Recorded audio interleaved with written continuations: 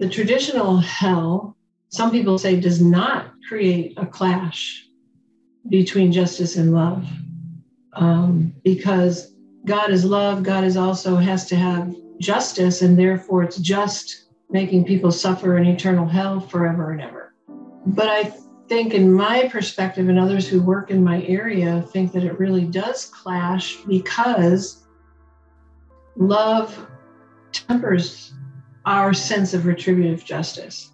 And so we seem to be geared into the concept of retributive justice and thinking that's God's justice. But when I did a study of justice in scripture and pulled out every single word in the Hebrew and the Greek for justice, and then pulled out all of those verses from those, God's justice, I realized that if it's God's justice, it's a justice that's redemptive, that's restorative. It's a kind of justice where we love our enemies, um, where we take care of widows and orphans, where we do compassion.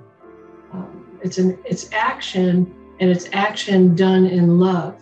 And so that love also that is just because it's taking care of those who are oppressed and abused and um, lesser than others that love itself then leads us to a life of taking care of others, being nonviolent, being uh, living in love and compassion, seeking to restore rather than to condemn, um, rather than some sort of retributive action.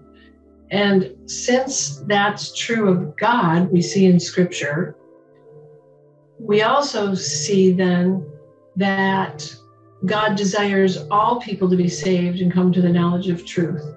That God's not slow about his promises, as some count slowness, but is patient towards us, not wishing for any to perish, but for all to come to repentance. And so you have these verses in scripture where retributive justice doesn't carry through in the realm of God. It's restorative justice that always seeks to redeem, even to the point of redeeming all people. And so love and justice in that sense really work together, and that does not include the retributional fires of hell for all eternity.